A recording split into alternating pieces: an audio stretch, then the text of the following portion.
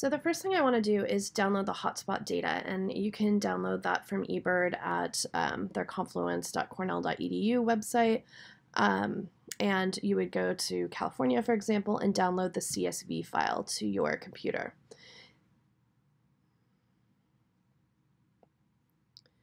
Now that I have this on my computer, I'm going to open it up and um, it doesn't come with any headers here. So what I'm going to do is I'm going to click on um, row number one in my spreadsheet and I'm going to click on the number one itself.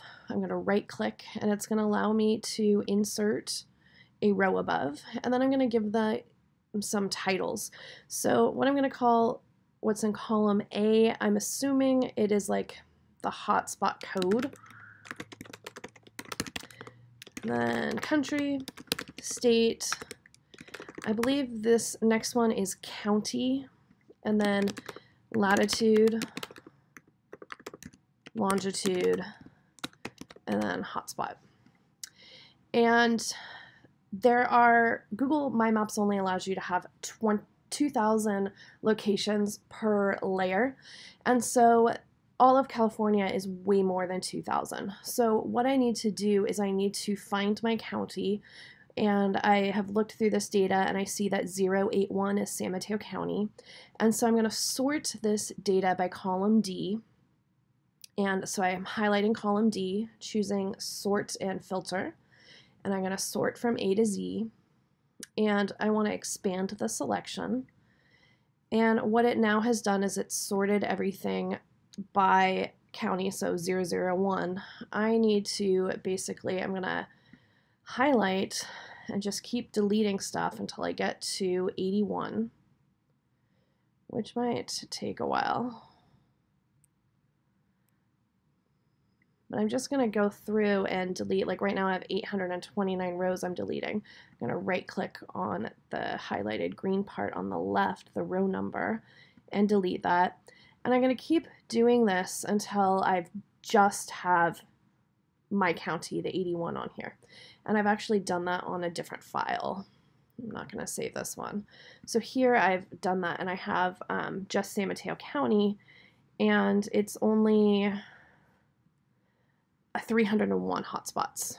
So then I want to make sure that I save this um, file as a CSV. It says some features might be lost. That's okay. We didn't do anything, so we're not going to um, really lose any features. We didn't change any formatting.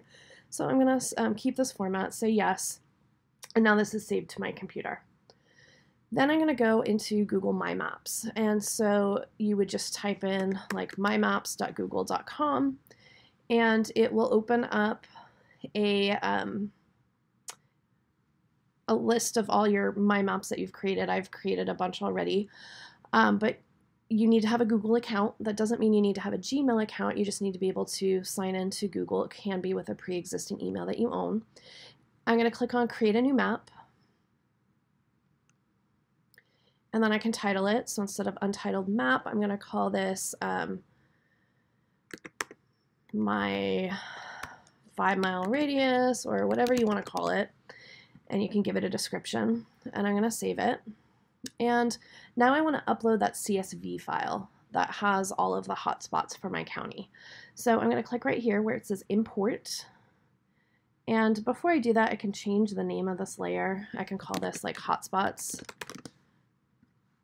But I'm going to import and I'm going to choose my CSV file that is on my computer, which was this first one. And then what it's going to do is it's going to ask me to choose columns that are going to be my place marks. This is going to be where the hotspot actually is. You want to make sure that you have latitude and longitude checked. And that's because it pulled these names because those are the names of the columns on our spreadsheet.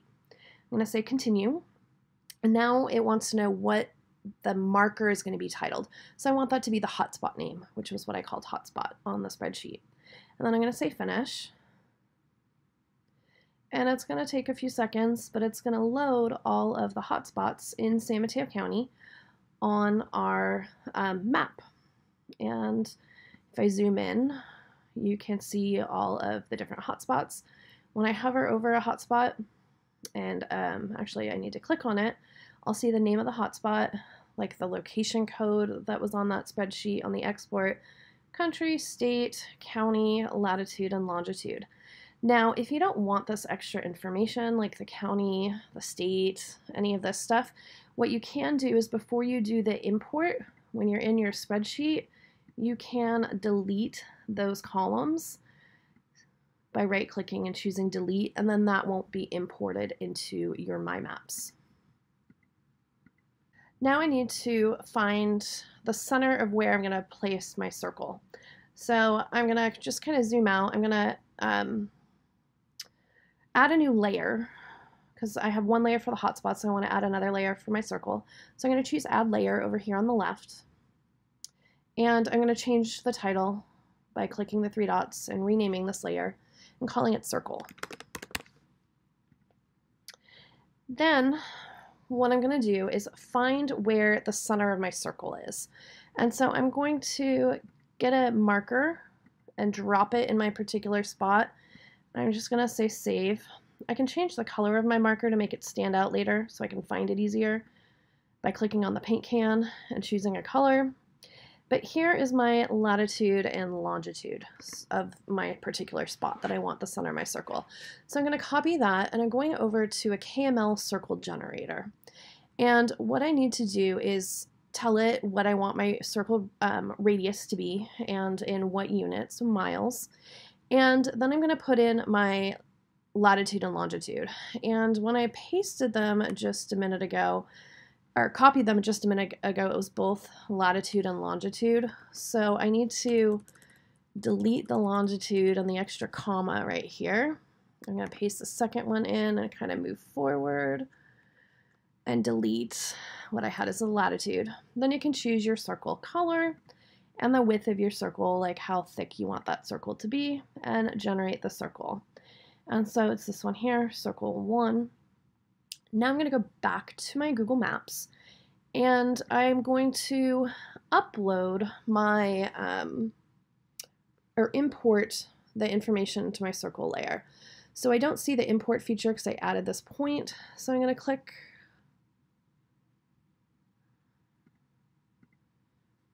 So I'm actually going to delete my point now so that I can import.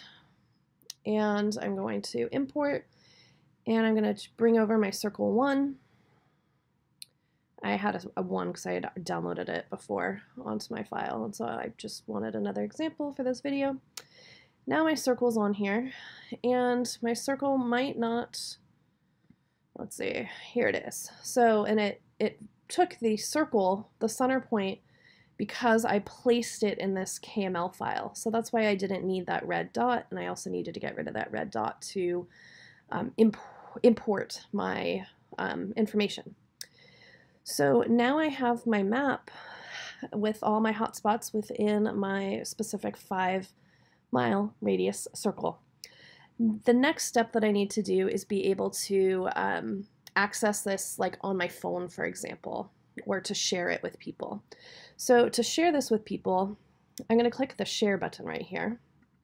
And with the share, I can change it so it's not private. So anyone with the link, for example, can view it, or I can make it public on the web so people can search for it if they wanted to. Um, but I normally just do on, anyone with the link can view. You can always give people editing access if you'd like them like to collaborate with you, but I'm just going to do can view and save. Now I have this URL right here that I can copy and paste and I can share it with people if I'd like. I'm not going to share it right now. I'm just going to say done, um, but anyone who did have the link can view. And one other thing that you may want to change, for example, is the base map. Right now this is kind of the, a general street map, but you may want to show um, you might want it to have like the the land um, I forget what this map is called um, but you can see like trees and water and things like that. Okay so now if I'm out in the fields and I want to look at my Google My Map that I created when I'm out in the fields I'm gonna just open up Google Maps and I need to make sure that I'm signed in with the same Google account that I used to create the Google My Maps. So up at the top left of the screen where it says where to, there are three bars. You're going to click on the three bars and confirm down at the bottom that you are logged into the Google Maps app on your phone with the same account and you can see down at the bottom that I am. You can click on it and sign into other accounts or add an account if you're not currently signed in. Now I'm going to go back to those three bars and I'm going to choose your places. When I choose that, on the right hand side it says maps and on the maps it lists all of my Google My Maps. I'm going to choose the one that I just created. It's the most recent one, so it's up at the top of my screen. And now when I've opened that up, it takes a minute for everything to load, but I can zoom in and I can see the circle. Um, sometimes it takes a little bit of time for everything to kind of load. You can see some of my circle has disappeared right now, but it will um, show up if you kind of move around. Um, but let's say that I want to go to a particular location and I can click on the um, icon of the location and it's my phone is taking a minute. You can see it's spinning down at the bottom, but I can see that it's Crystal Springs Trail, Raymundo Drive. And if I wanted to get driving directions to there, I can click on Start down at the bottom and it will give me driving directions from my current location. Now, the one thing you need to make sure that you do is if you um, don't want to have all of these icons on your map at all times. I don't want to see all of this information and all these spots all the time, so I'm going to go back up to your places and maps and click on this map. So I'm back kind of at the home screen. I'm going to click on the map, and so see down at the bottom it says View Map Legend. If I click on that, then I can choose Close, and that's going to close the map so I don't have all of those hotspots on my map when I just want to use the map for other things. If you've decided that you don't want these extra hotspots, what you could do to clean this up is you can actually delete these extra hotspots. It will take a few minutes because there looks like there's a bunch of them, but if I click on one of them, I can click on the little trash can to delete the ones that don't fit within my um, five mile radius.